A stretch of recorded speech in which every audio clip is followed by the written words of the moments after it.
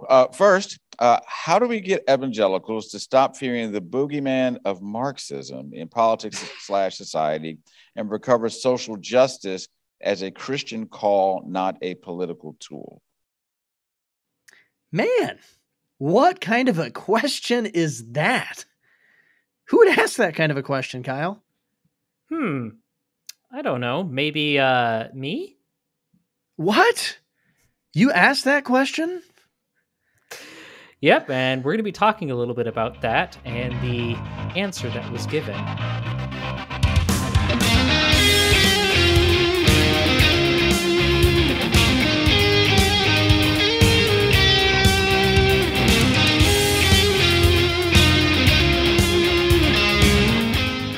Welcome to Wokepedia. Wokepedia is brought to you by Enemies Within the Church, and you can find out more at enemieswithinthechurch.com. Once again, that's enemieswithinthechurch.com. And there you can find all kinds of resources, uh, including Wokepedia. But we would encourage you that if you have not ordered your copy of either the DVD, Blu ray, or, you know, if you're one of those newfangled persons, you can go ahead and click on the download button right there uh, or, or the streaming button I'm a boomer at heart, so I might not exactly know what's going on there, but you should go ahead and you should check that out at enemieswithinthechurch.com. How are you doing today, Kyle? I'm doing great. I'm doing exceptionally great because been sitting on this clip for a while and it's fun to actually get to use it in an episode finally. Uh, but you know, I, am excited. I'm excited to continue the How the Woke Manipulate series.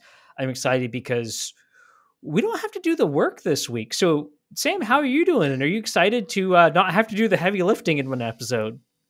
Yeah, I, am excited for this. I mean, um, uh, it, it's always great when the the people that you're you're exposing are kind of coming out and they just do the work for you. I mean, you know, there's sometimes mm-hmm. where you really have to work to kind of show hey, this person's coming from this philosophy, from this theology, and you're playing a connect the dots kind of a game.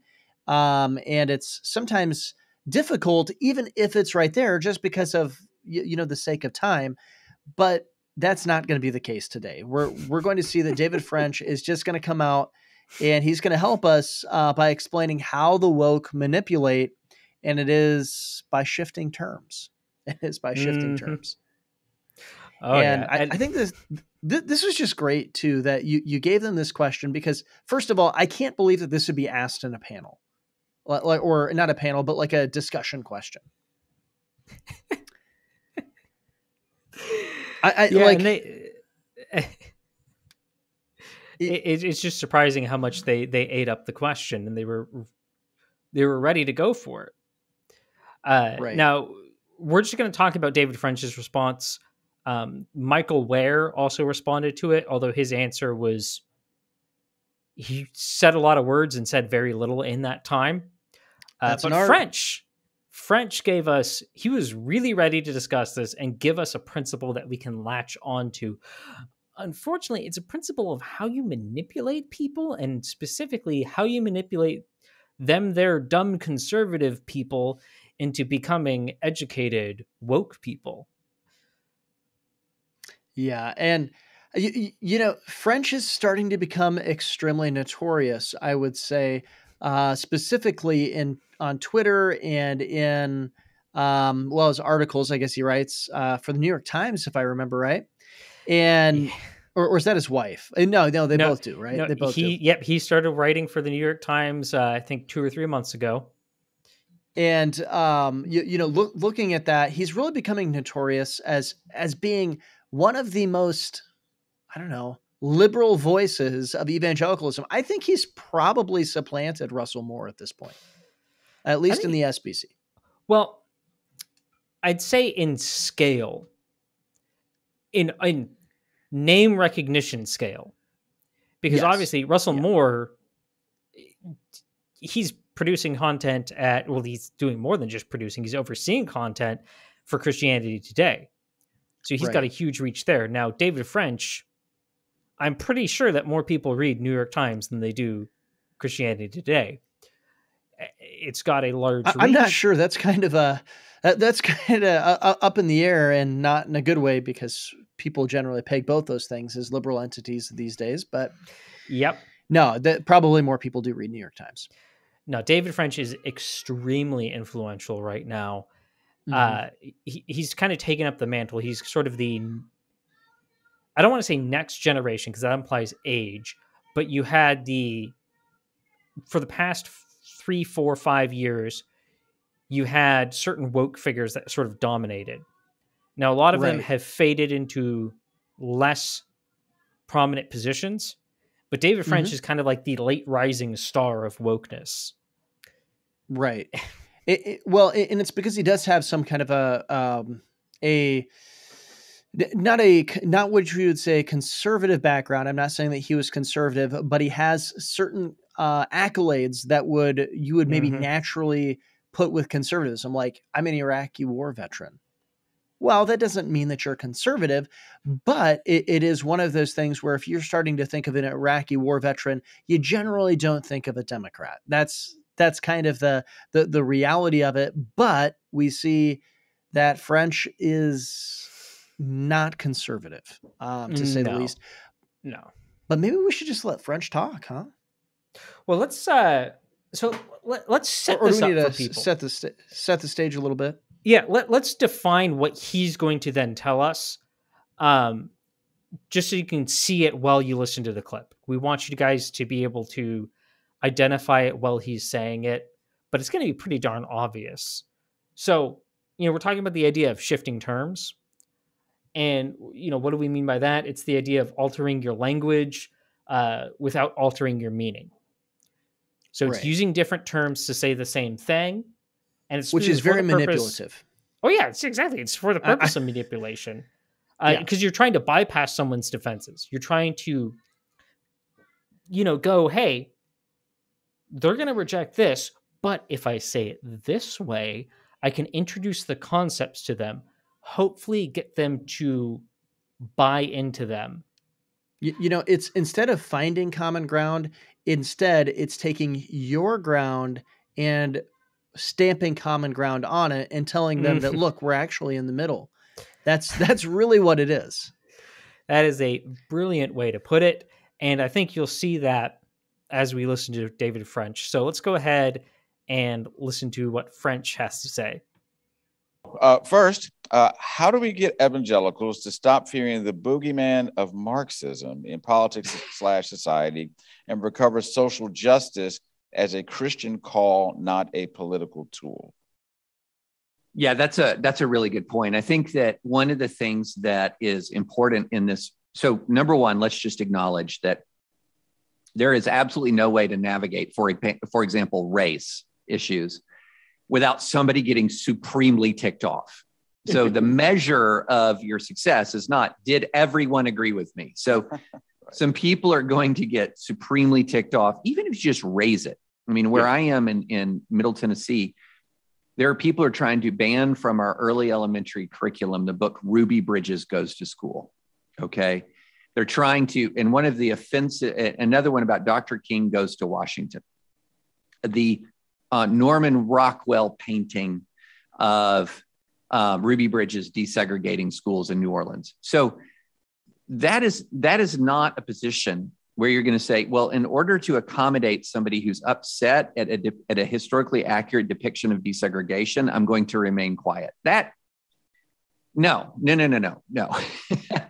However, at the same time, there is also a we should go out of our way to try to use language and concepts that are not explicitly tribal, uh, jargony, and often um, h- highly political. Okay.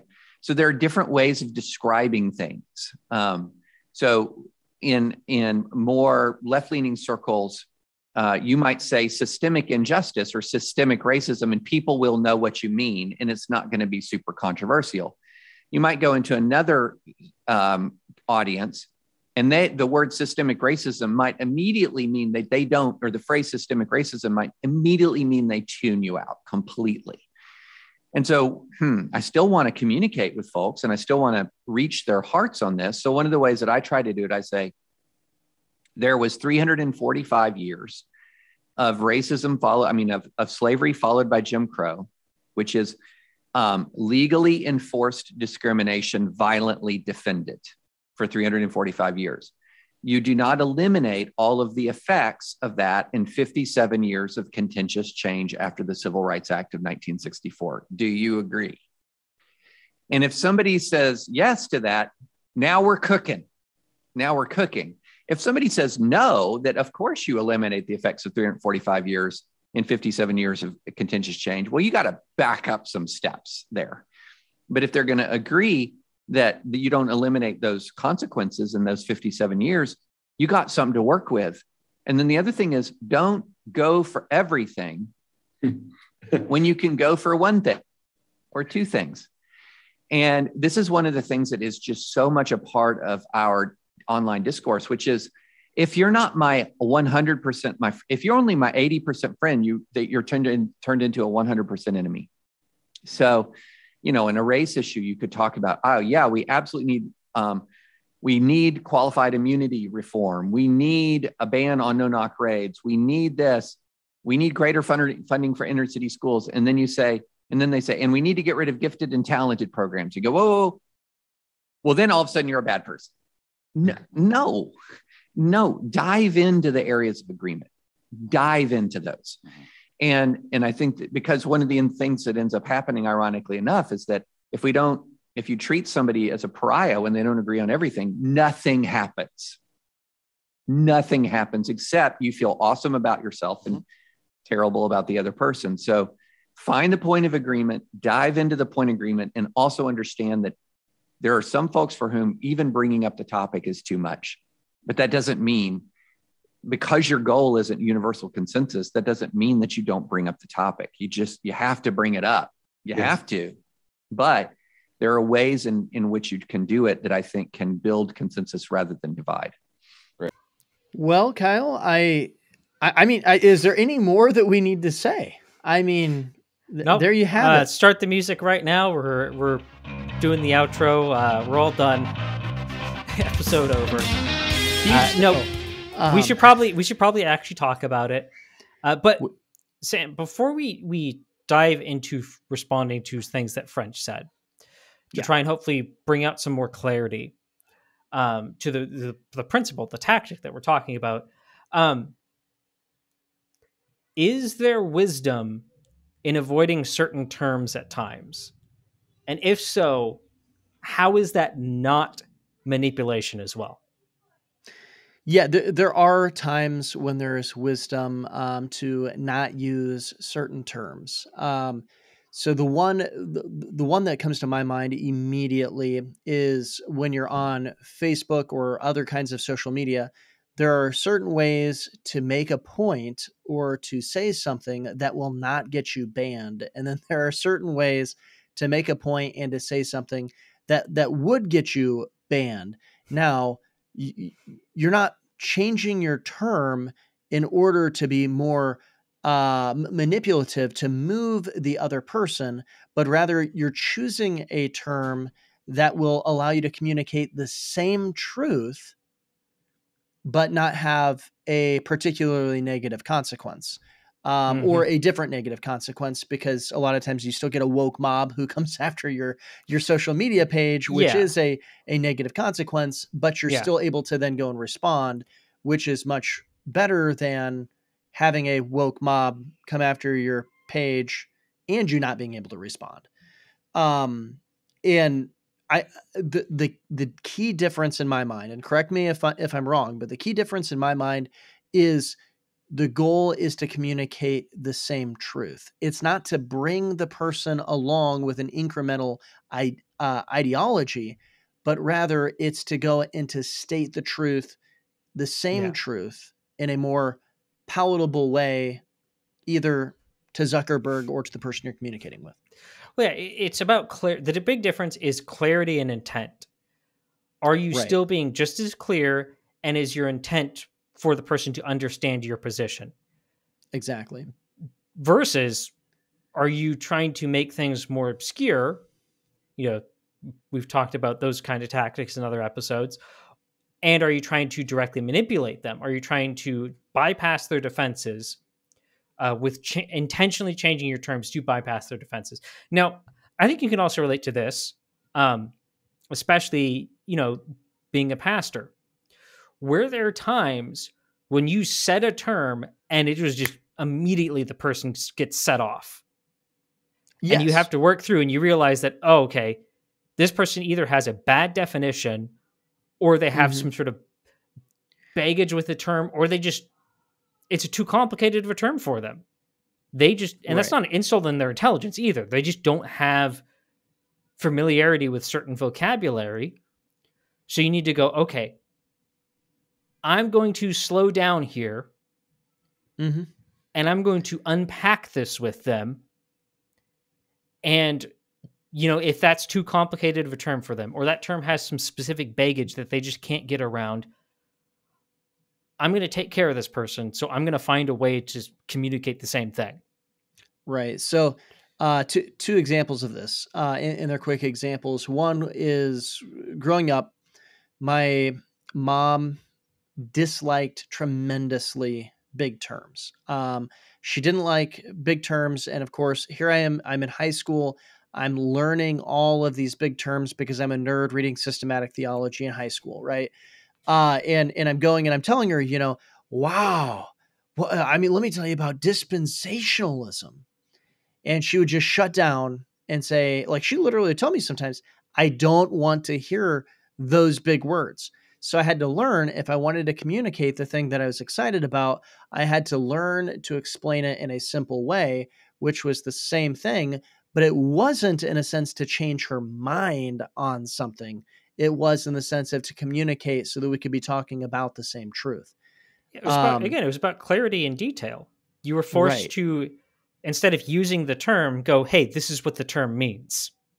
Exactly. Exactly. Uh, and then another example, and this one wasn't um, me.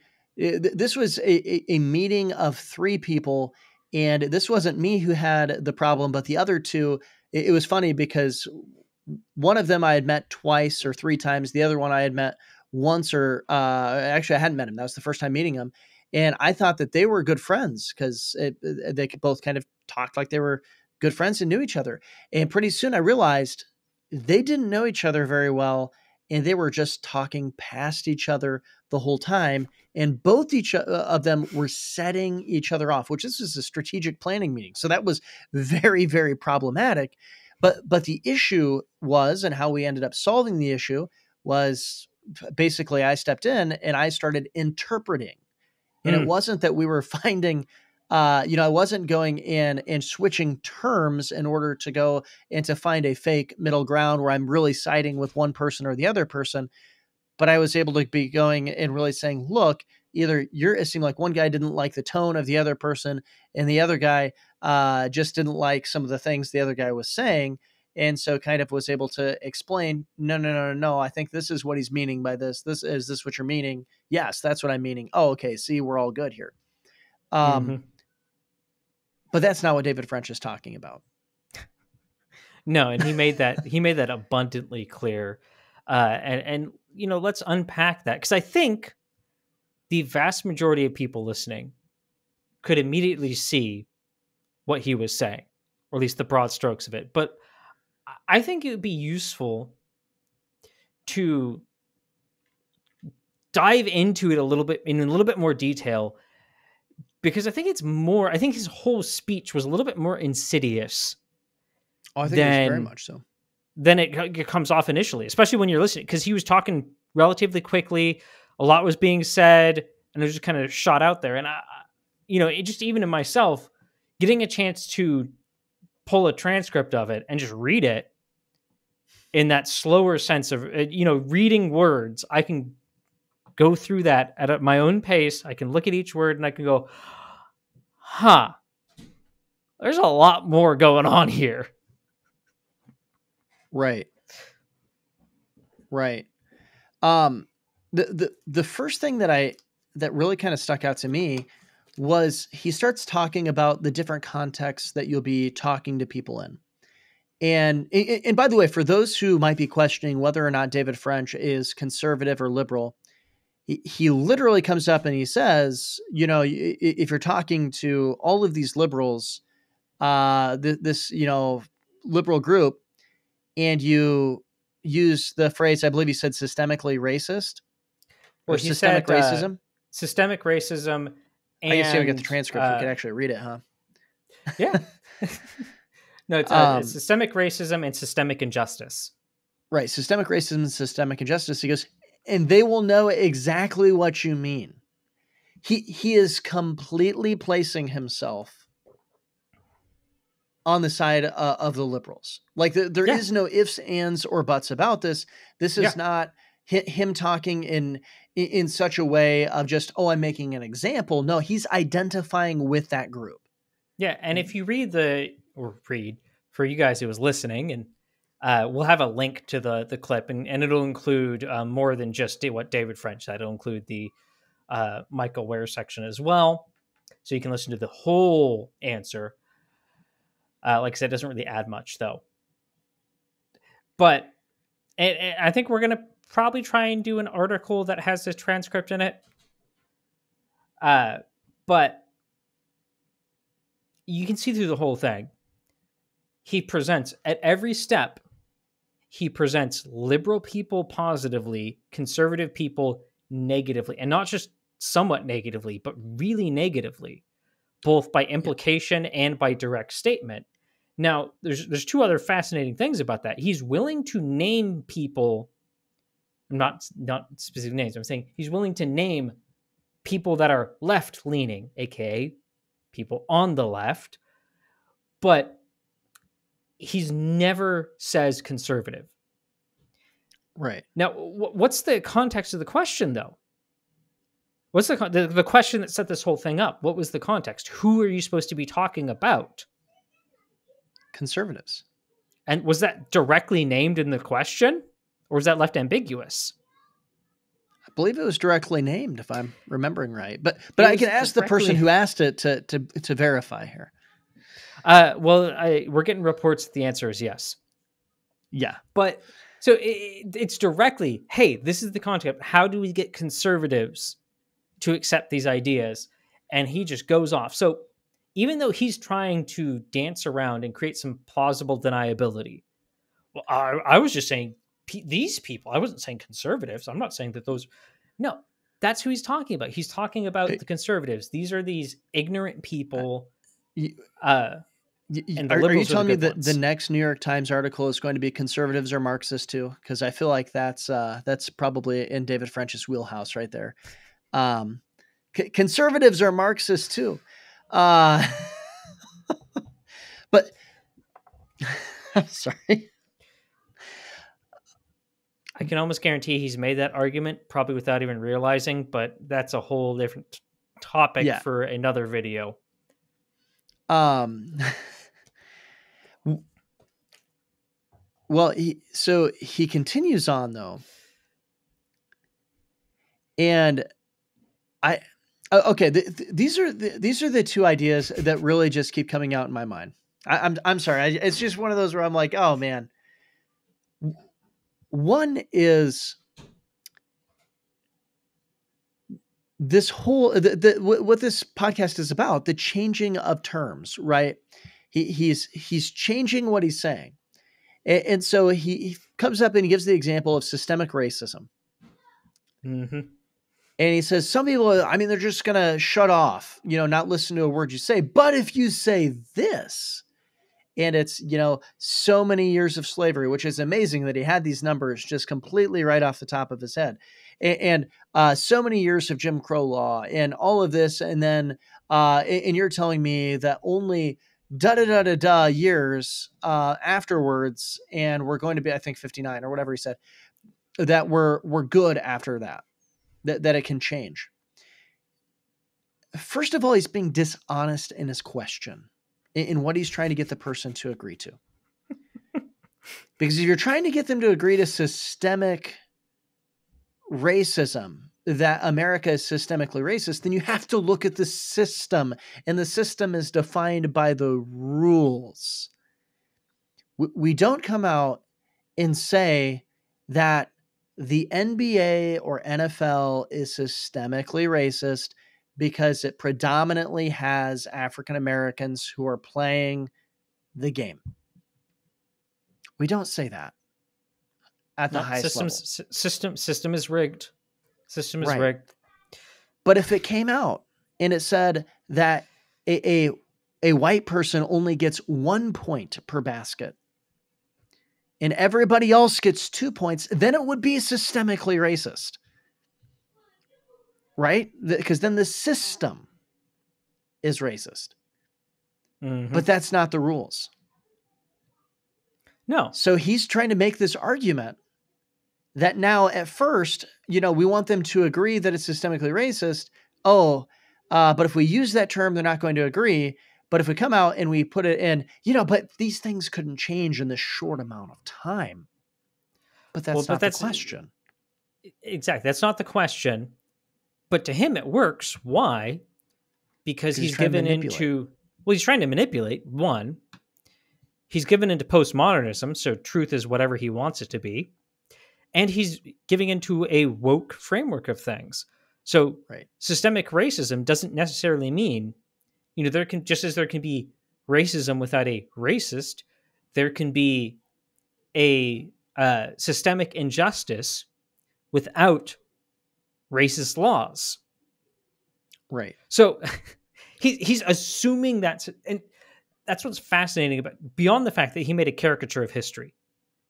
And yeah, I mean, you look at the the numbers he gave, the dates, and you know all the things he's ignoring. A caricature to the degree that it's not a statement you could say is true. It, we have to grapple with certain bad things in history, but you don't make a caricature of it. That helps right. no one. Right. What, but he assumes th- all these things. Yeah.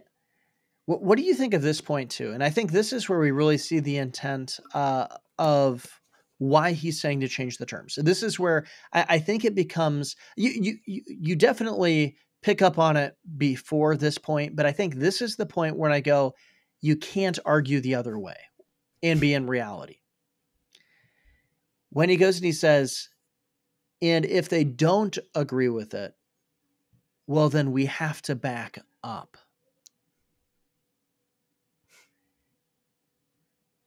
he's going and trying the incremental tactic which is a by the way i mean this is this is whether it's in politics whether it's um, you know in theology this is always mm-hmm. the tactic of progressives liberals leftists however you want to go into define the, this group it's it's this simple idea of going and saying well if i can't get the whole thing let's see what i can get yeah, it's that idea of, you know, hey guys, I'm a li- I'm a I almost said I'm a liberal too. I'm a conservative too because I agree with you on these points. And you build that common ground, and then you. Although I can't think of a point that David French really agrees with us on at this point, but well, he doesn't. But that, and he he emphasizes that through this, you have to fake common ground. You don't change what you mean, but you manipulate your terms and you manipulate the phrasings of things to make it seem like on the surface level, particularly if someone's not paying attention, if they have their guard down because you've claimed you're a conservative, which is why they claim that, they want you to lower their, your guard. You lower your guard, you fake that common ground, and then you get them immersed in the bad ideas that they you supposedly agree upon till the point where they've absorbed enough of the poison that they're now dying. Mm-hmm. They're now slipping into your uh, your your damnable ideologies. They're slipping into the death that is wokeness. And th- that's the tactic. That's right. the tactic. So it's not establishing, and that that's it is good in argumentation to find a point where you guys agree upon so you can establish understanding. What's the purpose of that, though?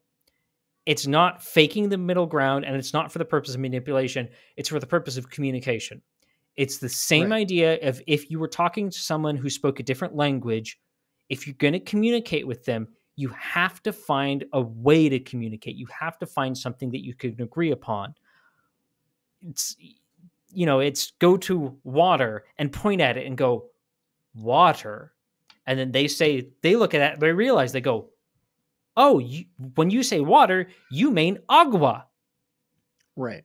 You're establishing a point of mutual communication, not a trap. And again, right. you go through and listen to what David French is, is advocating. He's advocating trap people. Um, so, one of the things I, I want to point out I'll toss it back to you. But one of the things I want to point out is, you know, you mentioned, you talked about his whole uh, 345 year thing. And then if they agree with you, you, then you're cooking. If they don't agree with you, then you got to back up. Um, one of the things is he says, uh, tune out. He says that they'll tune if they tune you out if you use these certain terms. Mm-hmm. So you, that's why you should avoid the terms. Notice he didn't say something like uh, immediately disagree. It's tune out. It's painting his the people that disagree with him, conservatives, as unreasonable, not having valid uh, reasons for rejecting woke ideas. Um, this is in contrast to you know before all this, he he painted liberals as people who are going to just agree with you. It's it's it, painting this idea that that these are the dum dums, and this is why you need to do it for them because they're the dum dums on the wrong side of history. You, you know, I think he's also painting uh, simultaneously along with that picture. I think he's painting something kind of interesting where he's he's bringing up the concept that to those who are listening now um, that deep down everybody actually agrees with him. And that and it's an interesting concept because that's where i mean it's like the the well if if they don't go for that then we have to back up. But you could tell he, he was almost flabbergasted in his own mind that somebody wouldn't agree when he puts it into these different terms well, because he's making it dramatic. He's making it dramatic, emotional, and absurd. That you, how could you not agree with this? Right. And if the question is on systemic racism, the thing is, is that you could go and say, yes, look, I, I disagree with, uh, with, with, with crow laws. Look, I disagree with, um, with, with chattel slavery. Uh, and, and you could go and say, but we don't have either of those today. So therefore, it's no longer systemic. You don't have mm-hmm. a claim for systemic. Yep. It, it, and he's he's saying that that is an invalid position logically. Mm-hmm. Is what that's what he's indicating in, in this. I don't go into an argument ever thinking that somebody can't disagree with me. I might go into an argument thinking that I'm going to be able to convince the other person. But I never go into it thinking that somebody couldn't have consistently wrong logic or even mm-hmm. the fact that maybe I'm wrong on something. I mean, that's always a possibility too. But but it's one of those things where like I go into this and I'm going eh, somebody can be cons- can be consistent in their logic and just wrong on their premise and that will bring them to a wrong conclusion.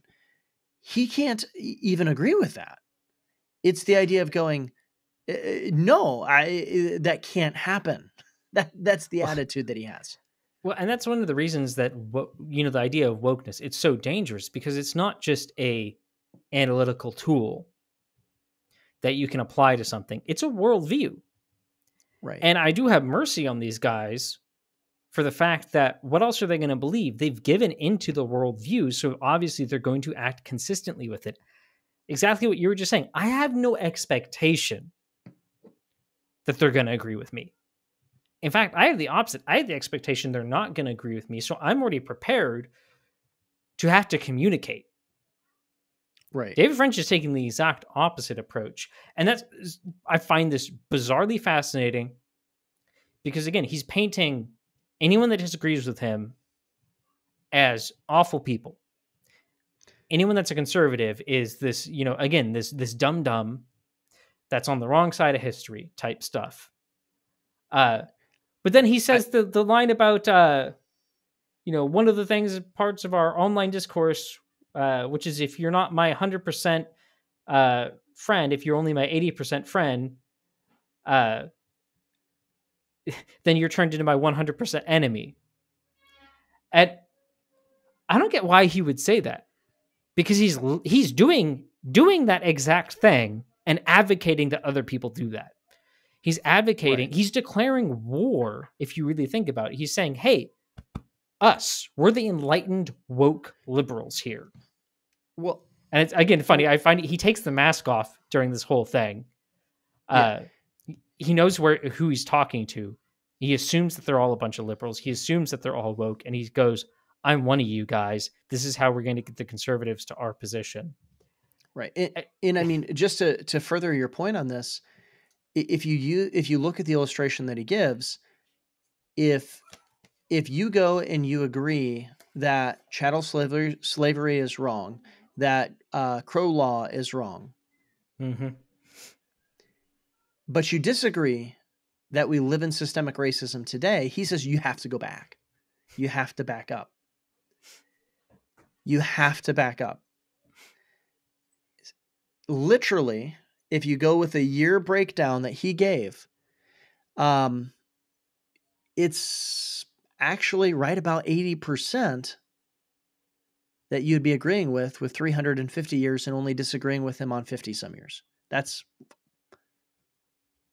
that's basically 80%. If I'm doing my math right. That's kind of funny. It's kind of funny when you think about it that way.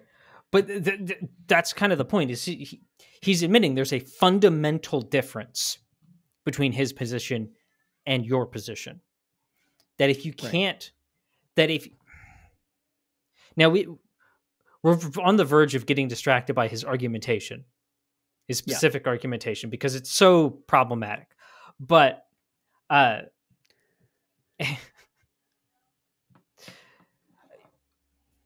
I, I find that again, I find this a little bit hard to grasp and fascinating at the same time that he'd make the whole episode for us.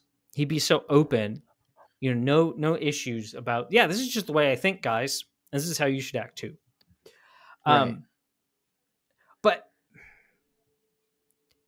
it, it's one of the reasons that that we do Wokepedia is now people people uh, criticizing people like David French will get upset with anyone that's criticizing up, not just us, and go, yeah, but he's he's not saying these things.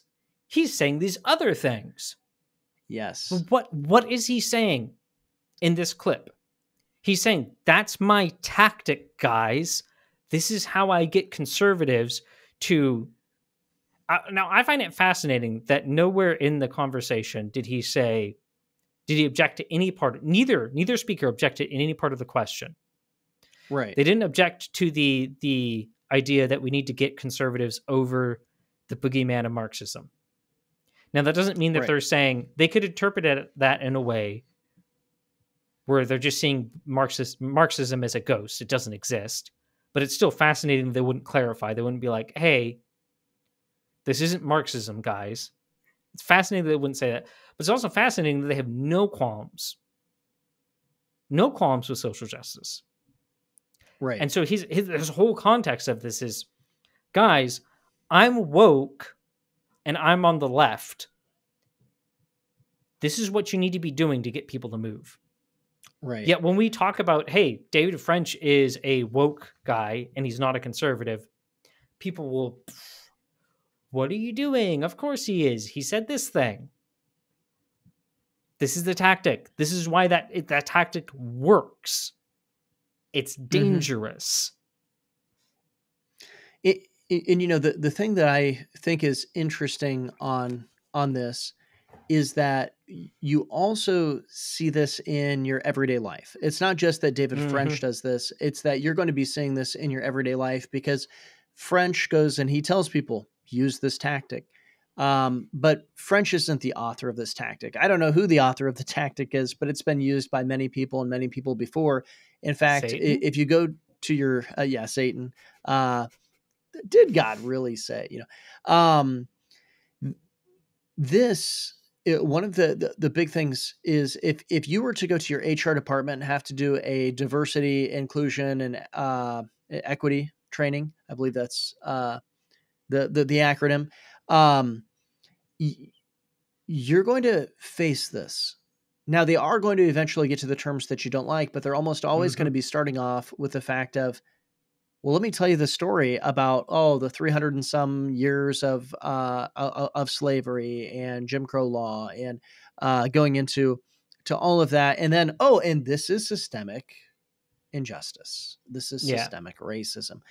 It and it's that concept of it's being brought to you in an incremental thing, bringing you along, and then bringing you to a conclusion where they do point out perhaps something bad that happened.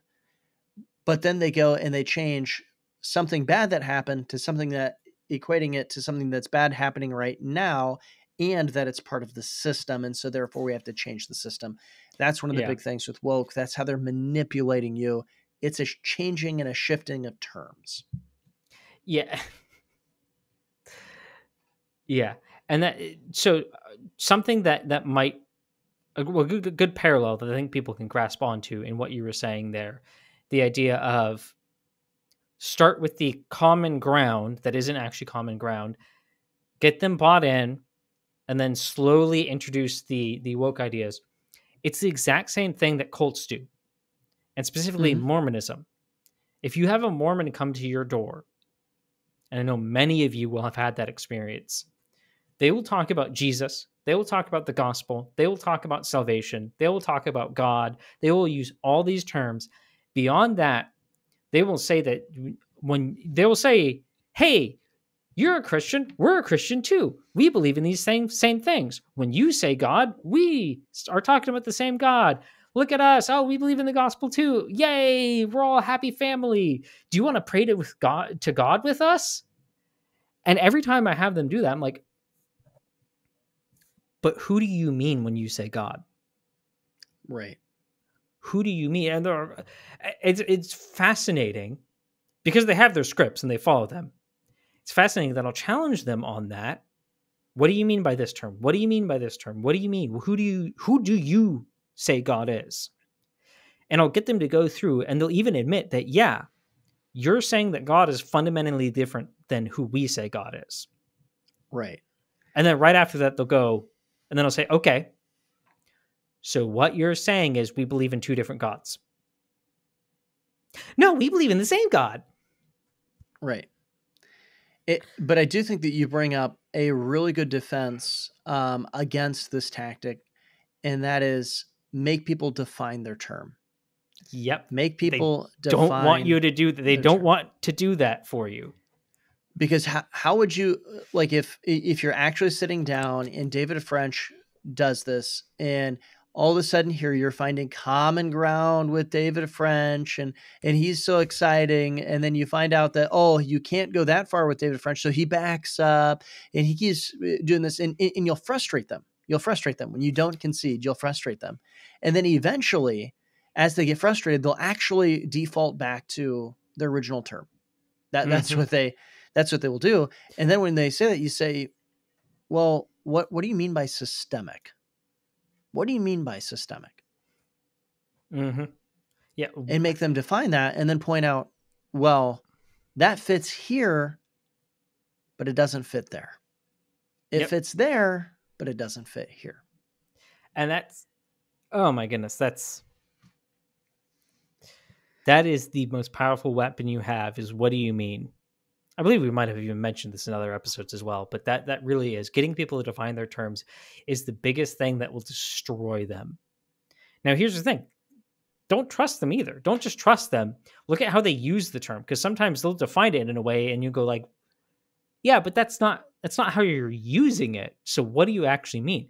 Be willing to chase them down. Mm-hmm. Be willing to chase them down on it. Don't let uh, them again. French will tell you he's a conservative.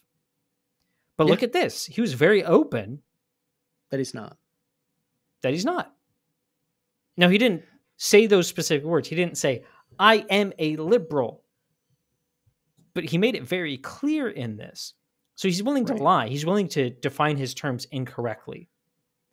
Right. And in the other thing that I would say that would be extremely helpful is think through the issues. Think through the issues, come to an opinion on the issues, because it's much harder to change somebody who has an opinion on the issues. And so when they start to try to incrementally move you, you're not going to be manipulated by perceived common mm-hmm. ground because yeah. you know what ground you're on. One of the reasons people often easily get manipulated is because they don't know the ground that they're actually standing mm-hmm. on. That they just don't know the lay of the land.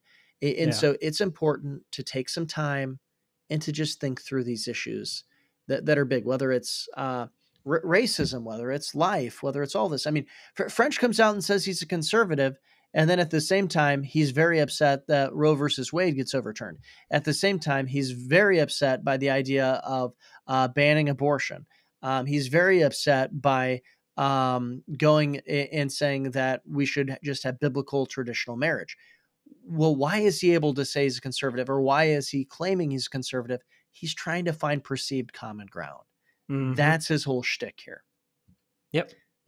Anything else we need to hit on?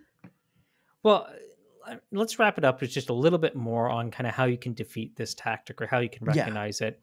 Um, yeah. Again, we've talked about the the ask questions. We talked about know your position. Uh, talked about just standing your ground. Don't let them bully you around. Um, if you hear something that's questionable, again, push back on that. Try and come to an understanding. Don't just assume it's wrong because you might be reading something into it that's not actually there. Again, that's why you need to have them define their terms. But it's good. It's good when, especially when someone's bringing a caricature. Right. Because what David French you talked about the the if someone ever comes to you and says something like what David French said about the 345 years of uh, slavery and Jim Crow, we'll ignore the fact that Jim Crow didn't start the second that the 14th Amendment was passed. Um, you know, if they, they come with that ridiculous caricature of things and then say, agree with me, agree with me, you should go, whoa, whoa, whoa, whoa. That's a caricature of history I need to know what you actually are saying. Be willing to right. do that. But the other thing is go into it with suspended judgment. Be willing to be skeptical. Skeptical does not mean that you don't believe them. Skeptical just means that you're withholding judgment. You're withholding judgment. Right. You're saying, hey, what you're saying doesn't completely make sense to me. There's a flavor to it that I don't understand. I'm going to ask you questions. You're not giving me the answers which is a problem in itself. So I'm going to go talk to someone who knows more about this. I'm not just going to say you're wrong. I'm not going to say you're right. I'm going to go talk to someone else. I'm going to go have a discussion with them and see if I can't figure out what's actually going on. And you might find out that hey, I was just overreacting. You might find out, hey, that's that's true. What they were saying was problematic. I just didn't have all the information to put terms to it. And that's one mm-hmm. of the mm-hmm. reasons that we exist here at Wokepedia is we want you to help be able to identify it. That's why we're doing the How the Woke Manipulate series. We want you to be able to identify it. And if you need help identifying things, contact us. Contact Wokepedia at gmail.com. If you have questions about this episode, comment on the episode on, you know, Facebook, Rumble, uh, again, I, am still not 100% sure about it, but apparently you can message people on some of the uh, podcast platforms. I don't know where those go. I hope we're not missing messages. If for some reason we don't respond to you in something, email us. Again, contact Wokepedia at gmail.com. We want to make sure that this content is helpful and useful to you. That's right. Uh, what one other thing I would just kind of point out is this also means that your discernment needs to be further than buzzword level. There are a lot of people mm, who I would mm-hmm. say have have buzzword uh, discernment, and the thing is, is that they only look for certain repeated words, um, and because they're not willing to ask what does that mean, they uh, and, and they haven't suspended their judgment um, until the person's hand is revealed as as Kyle was going and saying.